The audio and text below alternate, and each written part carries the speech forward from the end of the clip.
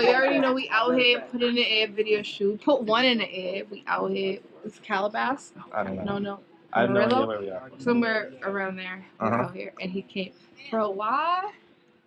I thought I texted you. And yeah, we're trying to get to the bottom of Jung still. Um, he he has some really really cool, I guess, algorithms, and I'm trying to download his algorithms. And like some of his algorithms are really sophisticated, and it's it's it takes some time to understand to like parse through his functions and like understand his logic and his reasoning processes. They're trying like that to map who you are, even by watching your eyes. They're, they're trying to figure out who you are so they can send you the right information, but the danger is that that'll happen, say, in the domain of news and broader information, increasing this tendency for people to be siloed in their exposure to the external world. It's a big, it's sort of like each of us is becoming a micro celebrity surrounded by electronic sycophants who do nothing but tell us exactly what we want to hear. It's a real problem. Karl Popper, a famous philosopher of science, said that one of the things that you should do, and this is akin to the Piagetian view, is you should always look for information that contradicts your current viewpoint. Now that's painful, right? Because who wants their axioms contradicted? It can take you apart. But it's the only way that you can ensure that you're learning at the same time that you're maintaining your stability. And that's another reason why it's really necessary to engage in dialogue with people that you do not agree with, because they're the ones who will tell you things that you don't know. It's, cru- it's of crucial importance in the maintenance of your own stability. All right, gainers, we were first on the scene, so we're gonna pull up and we're gonna read a little bit. Put one in the air, one in the air. You see me crying, all of them tears lately, lately.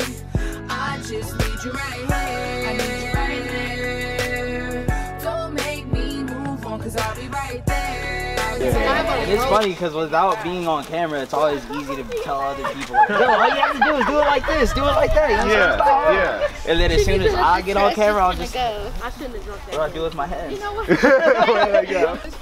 All right, guys. So this is gonna be like the main shot right here, and then we'll go in and it'll go from there. Hey, it's okay. How's it going?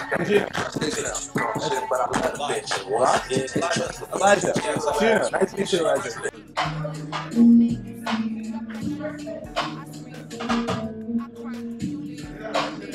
We, oh baby, please, and if you stay, I promise I will be your everything. Cause you're my man, and I understand.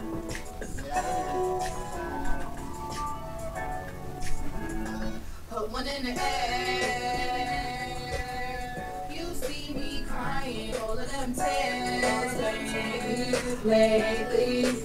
I just need you right here.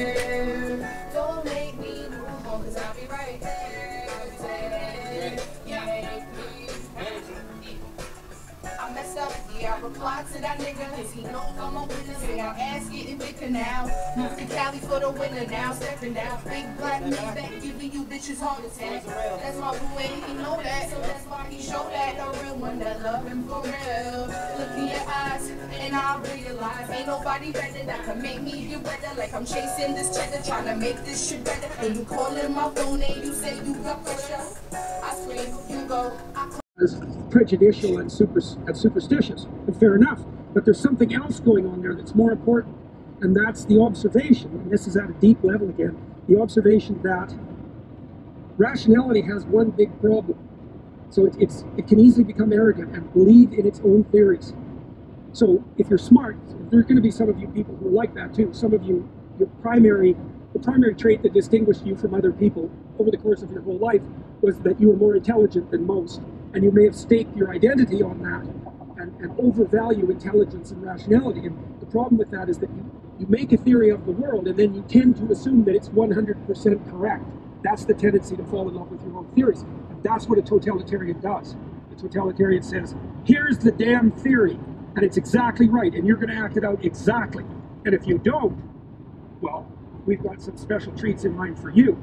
One of the most terrible things that, that I encountered while reading about totalitarianism, and this was